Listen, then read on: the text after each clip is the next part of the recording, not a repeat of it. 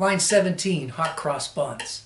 Well, we've made it to our first official song that you probably will recognize, um, and we're going to get to play it on our instrument. This is a fun line.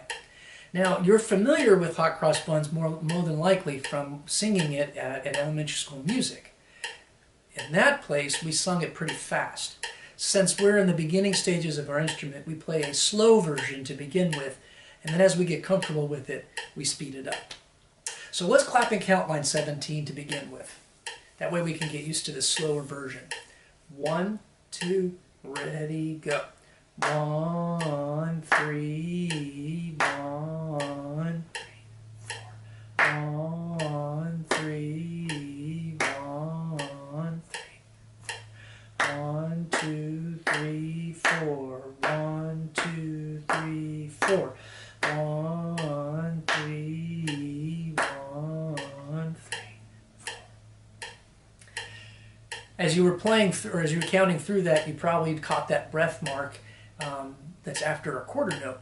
That means the quarter note is going to be shortened a little bit in order to make there t- be time for the breath. Ready? Let's say it. Two, ready, go. D, C, B flat. D, C, B flat.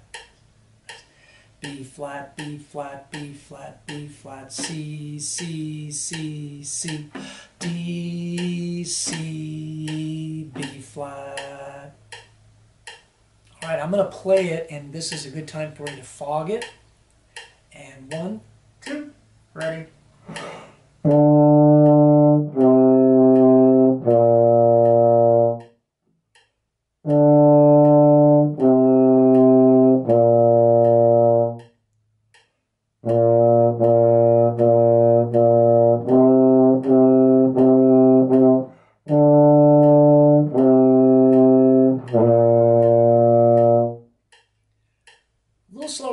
Might remember it, but that's how the beginning version works. All right, join me in playing it. Ready? And one, two, ready.